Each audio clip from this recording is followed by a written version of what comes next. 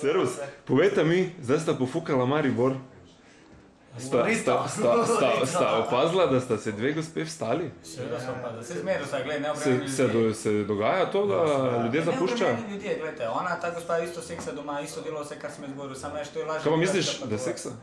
Ha? Kaj pa mogoče pa ne? Ja, bolj švah, mogoče Ja, bolj presenečena, švah, ja. presenečena oma, da to se dogaja greh hiter dan.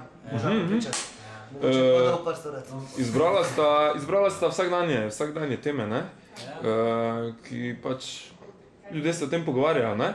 Uh, zakaj sta ravno zbrala to? Mislim, sta kolebala med čem ali sta pač rekla mi da ne? ne zbiramo. Ker direktiva. Ne, to je stand-up comedy. Greš gor, probaš in če greš 4 od 100 ven, si dober. Mhm, Oziroma zelo dober ste, ko oni 4 so res zavrti. Ja. Kak je bilo prvič? Koliko se vam je stalo? Of, prvi so švice na kadum, Ja. ja. srava kagira. Ti leta nazaj, tako da zdaj že čez 150 nastapa zdaj že. Aha, kje boste kaj v prihodnosti?